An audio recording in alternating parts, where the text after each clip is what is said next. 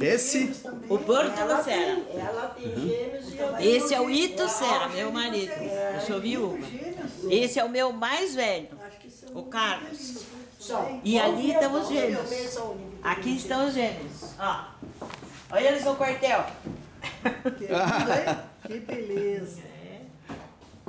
Aqui tudo tem história. Parabéns. E essa Tudo. pintura maravilhosa. Uma sobrinha minha que pintou. Que linda, parabéns.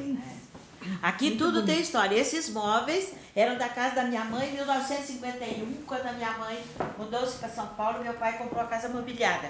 Tinha esta sala de jantar, aquele lá já é da Lapa. Nós vamos passar na frente, eu vou mostrar para vocês da casa que era, da Casa Lacerda. Não a Casa Lacerda lá na frente do Panteon, é da dona. É, é, é da, da, da Lacerda na frente aqui do Congresso.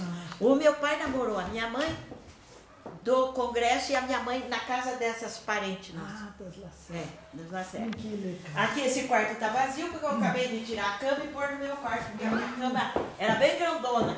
Ó, aqui tá vazio. Aqui tava a cama da minha mãe, que é- são os móveis de jacarandá, aqueles que tem dois guarda-roupa, a cadeira, Que beleza. as camisetas. Aí eu arrumei a cama, porque eu tenho problema de coluna e não posso dormir em cama baixa. E a cama da minha mãe era baixa. Agora eu mandei aumentar aqui e vim com a cama da minha mãe. Faz dois dias que eu tô dormindo aqui. Eu, quando era pequena, eu tinha uma boneca negra em casa e eu nunca esqueço disso. Porque a maioria das crianças não tinham. E eu tive.